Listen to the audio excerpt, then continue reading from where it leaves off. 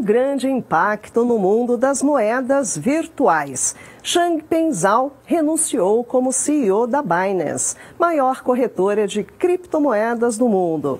O empresário está entrando em acordo com o governo dos Estados Unidos após acusações de lavagem de dinheiro e outras violações. Acompanhe.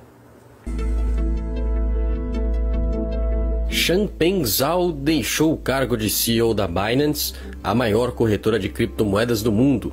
Ele também deve se declarar culpado de acusações federais de lavagem de dinheiro.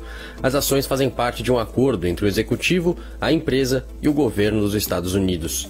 Zhao e a companhia foram acusados de não implementar um programa eficaz contra a lavagem de dinheiro, violando intencionalmente sanções econômicas. Além disso, outras acusações são de que eles facilitaram quase 900 milhões de dólares em transações financeiras, violando sanções contra o Irã para, para lucrar nos Estados Unidos sem respeitar as leis locais. O agora ex-CEO será proibido de se envolver com a Binance por três anos, e a declaração de culpa incluirá a violação da lei do sigilo bancário.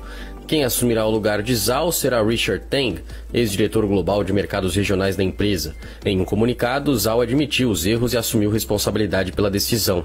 Ele planeja fazer uma pausa antes de possivelmente se envolver com outros investimentos, destacando que não vê um retorno como CEO de uma startup.